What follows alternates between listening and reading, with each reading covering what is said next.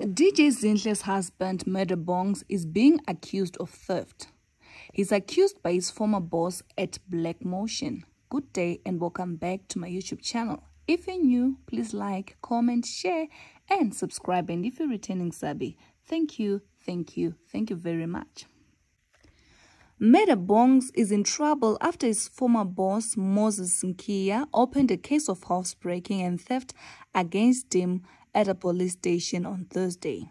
Sunday World reports that Murdah has broken into the Centurion house twice since he moved out to stay with DJ Zinhle. On the two occasions, Murdah is accused by Moses of stealing items which includes studio monitors, a TV, hard drive, and mixing deck.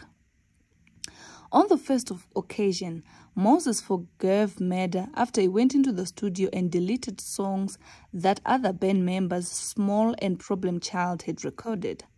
Moses also told the newspaper that he sat down with Murdah after the incident and they agreed not to open a police case. However, the last incident appears to have been the last straw for Moses as he's fed up with Murdah's tactics.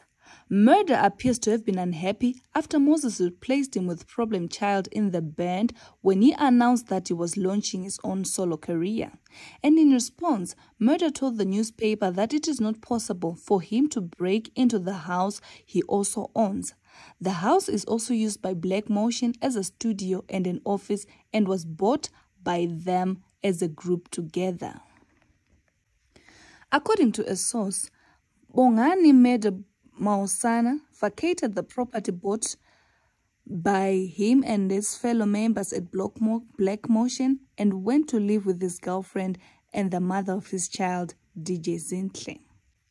The Black Motion's leader, Moses, also confirmed that he opened a case of malicious damage to property against Murdah. He said the case has been opened and is being handled by the police and Murdah Bongz declined to comment and referred Sunday World reporters to his lawyer Neo Mashile.